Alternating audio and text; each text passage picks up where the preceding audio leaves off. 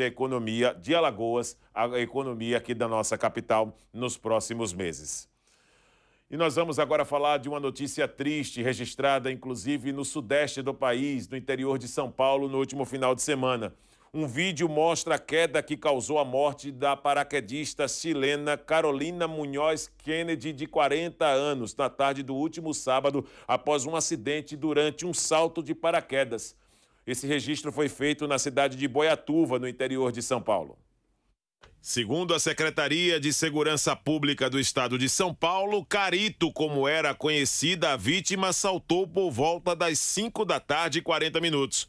Um funcionário da escola de paraquedismo responsável por operar o salto foi ouvido pelas investigações e contou que a mulher enfrentou problemas durante o salto. De acordo com ele, o paraquedas reserva foi acionado, mas por razões ainda desconhecidas não funcionou adequadamente, o que resultou na queda da vítima.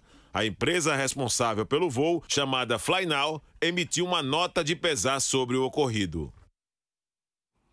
Pois é, uma nota triste e lembrando que esse tipo de situação, registro de mortes com paraquedistas, não são situações frequentes, tá, gente? Muita gente, inclusive aqui da nossa equipe, Porlane viveu agora recentemente essa experiência e disse que foi fantástica essa experiência vivida. Então, não acontece com frequência, mas são situações que cabem sim uma investigação para explicar o porquê de uma paraquedista que até de certa forma no meio era considerada uma paraquedista tão experiente, 40 anos, chilena, veio a óbito por conta de problemas ainda desconhecidos. A polícia segue investigando o caso e, obviamente, os órgãos competentes também para poder trazer esclarecimentos sobre esse assunto.